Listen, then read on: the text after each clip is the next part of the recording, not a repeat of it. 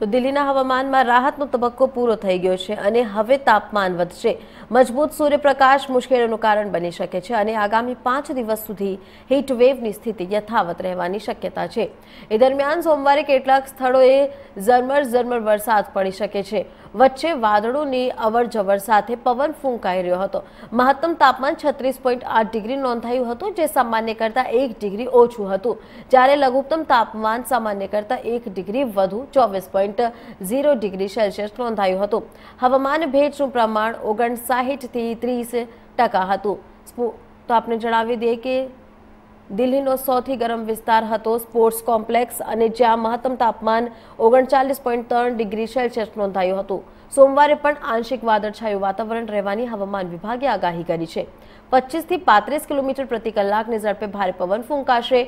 અમુક જગ્યાએ ઝરમર ઝરમર વરસાદ પડવાની શક્યતા છે. મહત્તમ અને લઘુત્તમ તાપમાન અનુક્રમે આડત્રીસ અને ચોવીસ ડિગ્રી સેલ્સિયસ રહી શકે છે.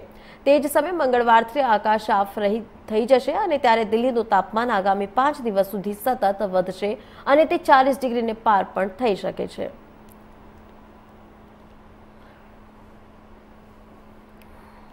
Mm-mm.